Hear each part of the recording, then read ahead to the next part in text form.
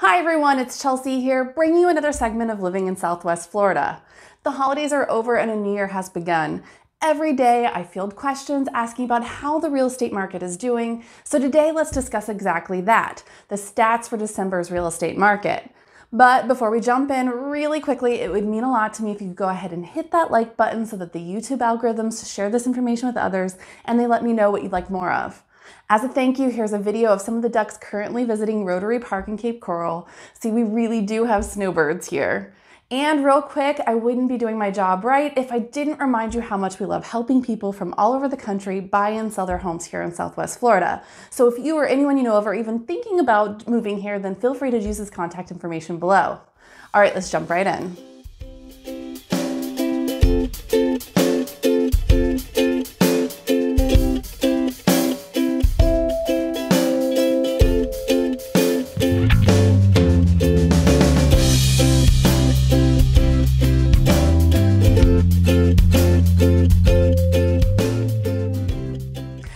Right, so just to break down what you can expect in this video, the first thing we're gonna be looking at is what the numbers are for December stats, then what those numbers mean, and finally what we're going to continue to watch for in the future. Let's start with the beginning, which would be having homes to sell. So let's discuss how many new homes were listed last month in December of 2021. We saw 2,895 new listings. Now, I know this is just numbers with no context, but to put this in perspective, this was actually about 8% less homes than we had saw list in November. And November and December new listings are historically always reduced going into the holidays. So this is completely normal for the time of year, but it is down year over year. And we'll talk about what that means and with the context in a little bit. All right, so new inventory is down. And yes, I am hearing from many buyers that I speak with wondering if there's many houses for them to choose from. But an equally important question that people want to know is if I find the house and I make the move, how much can I expect to pay? Well, in Southwest Florida, the median price went up slightly for a third month in a row to a median sales price of $400,000. This was a median of 3,473 homes that closed. And hang with me a bit though, because I am going to explain these numbers here shortly as well. Before I do though, like I do in all of these videos, I wanna point out that I'm using median prices instead of average prices. Average prices will put all of the sales together and divide the number of houses. This month, our lowest sold property in the MLS was very clearly mistakenly input sales price of $191 for a very nice three bedroom villa in Fort Myers that really did sell for $191,000. I actually had several buyers call looking in this price range and type of home, so I want to take a real quick moment and point out, look, they do exist. On the other end of the spectrum was the most amazing Naples beachfront home in the elusive Port Royal community that sold for $49.5 million. That view will never get old. Obviously, neither of these homes are middle of the road, and so they do skew numbers when we're talking about average prices. Instead, I'm going to use median prices, which draw a line in the middle point and puts one above, one below, one above, one below until we find exactly where that middle of the market would be. And for us this month, that middle point is right at 400,000. I also want to pause here a moment really quick as my monthly reminder to remind homeowners who have financed their homes that if they haven't done so already, it would be prudent on checking those refinancing rates and see that if you have your PMI on there, it can be dropped. With the increases in equity, many homeowners will find themselves with more than enough to meet the 20% threshold. And with interest rates starting to rise, it doesn't hurt to speak with a lender to see if you can optimize your loan first. And if you need a great lender recommendation, feel free to reach out. I'm happy to provide names of people I've worked with in the past that have done a great job. So I'm sure you're wondering what all this means, and let's take a minute to break it down. Let's go back to the new inventory comparisons. While it's completely normal for the market to be quieter during the holiday season, if we compare the last few Decembers, we saw that between 300 and 500 less homes this year came on market than previously. And yes, it would be easy to write off the lower inventory this year because a lot of homes did sell this summer when the market was going completely crazy. Many people who may have waited until later. But it's not the full picture because in reality, it was still one of the lowest months for new listings in the last five years, only being beaten out twice. One of which was April of 2020, aka the start of the pandemic, and the other being September of 2017, aka the month that Hurricane Irma hit. So yes, we had very little new inventory spring up. And the new listings weren't the only number that had fallen because we're carrying such little inventory right now. The number of homes sold correlated, and we saw close to a thousand less homes sell this year than last. We're currently sitting on one month's worth of inventory, which means if we sell out every single home on the market today and not add any others, it would take us one month to sell every single one. For a balanced market, we'd be looking at four to six months of supply. So being at only one month of inventory is really low for us, and it definitely illustrates that we're still in a seller's market.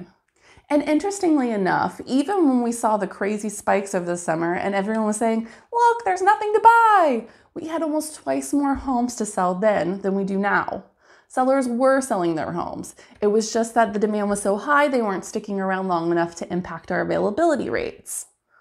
This is all illustrating my point that the summer market conditions have essentially not changed. There are few homes on the market. Those that are on market are benefiting from the lack of competition, and that's allowing the prices to still go up. I do want to give some context though and some consolation though to the buyers. The good news is that it's not going up as briskly as it was previously. Home prices rose sharply through those first six months of the year, but many people felt buyer burnout and left the market for a while, and they didn't return again until later in the year. This means that the rise in home prices did take a little break for a bit and even held flat for month to month between June and July, and reduced a tad for August and September. But for those who are holding out for the big drop, I hate to be the bearer of bad news, but it is just not forecasting yet. For starters, I think that many buyers out there that were previously holding out for a drop are now realizing that it's not on the horizon and are returning to the market before the interest rates rise more. While we've talked about not having homes to sell, what I haven't really said is that we, we don't have enough homes for the population, period. We are already struggling prior to the pandemic to build enough homes for the demand. And with construction stopping for the pandemic, that problem became exasperated. And when landlords sold their rental homes, that exasperated the problem even more. We are building constantly, but we're still trying to play catch up for the needs of the city. We also have very low potential for foreclosures. This area has always had a large amount of homeowners who are all cash, which leaves less opportunity for a home to be foreclosed on to begin with. Couple that with low unemployment rates and high rates of equity, and there aren't really ideal circumstances for a foreclosure to happen. In fact, for the month of December, out of the thousands of homes in the region, there were only 22 that entered pre foreclosure status out of thousands. So I think that this is pretty apparent that the rate is incredibly low and not a real factor for creating disruption. I guess what I'm saying is that if you decide to buy now, we aren't showing signs just yet of it getting any lower, and it may be worth hanging on through these challenging conditions before they rise higher. Let me be clear real estate is cyclical. It will rise and it will fall. But if a homeowner's timeline for ownership is long enough, they'll typically see a rise and fall over many years, creating mass equity over a long period of time. Remember back when buyers in 2007 who bought right before the big crash? Since then, we have long superseded their highs because the calendar was long enough to ride through those storms. As we go up, it will always be a question on is this the top? Those in June and July were afraid they were at the top of the market, and it wasn't. Around this time of year, we do usually see a big spike of new inventory. Sellers who wanted to wait until the holidays are over will return to the marketplace, and with the additional snowbirds that are visiting, in years past, we've seen sellers come to the market to capitalize on that. Truthfully, I haven't seen that just yet. So far, we're still halfway through January and we haven't seen the big spike we were expecting to see of new listings.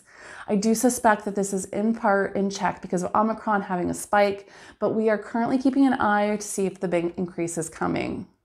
As I've mentioned, we definitely have our snowbird back, and I do expect to see a lot of activity heading into February and March. Sellers, I cannot stress enough how great these market conditions are for you. If you are considering selling, doing so with the low current competition would be a great time to capitalize. Feel free to call me for my opinion on your home or see if I have a buyer looking for what you have to sell. Odds are there is someone in my database looking for a home just like yours. And buyers, my best advice is to hold the course. Interest rates are expected to rise, home prices are expected to rise, and I would hate for anyone to be waiting to make lifestyle changes get priced out simply because they wanted to wait for a drop. Many people here move here for lifestyle that they want to have. And if that's still true for you, then you're going to want to keep your eyes peeled and your nose to the ground. when it's meant to be, it will be. If you have questions about this data, or if you'd like to drill down and compare specific neighborhoods, like say Cape Coral versus Fort Myers, or waterfront homes, or pool homes, or whatever your specific circumstances call for, then feel free to reach out to the contact information in the description below. Myself and the network of agents I have throughout the United States are here and ready to help you with your move. Also, feel free to use Cape Coral Fort Myers Realestate.com for all the latest listings to hit the market and begin getting comfortable with our marketplace. There's no obligations. If you're ready to get the ball rolling on your move to Southwest Florida, then there's a link in the description below to set up a personalized home search that'll be tailored to you. Oftentimes, when we search web aggregates, it limits our capabilities. But when I build this search, it will have many more options available, and we can begin a conversation about what your home in Florida will look like. There will also be a link in there for you to be able to set up a private Zoom conversation so we can discuss this further. And don't forget to add me on social media and follow along as we post weekly articles and information that you may find handy and give you insight as to what life in Florida looks like.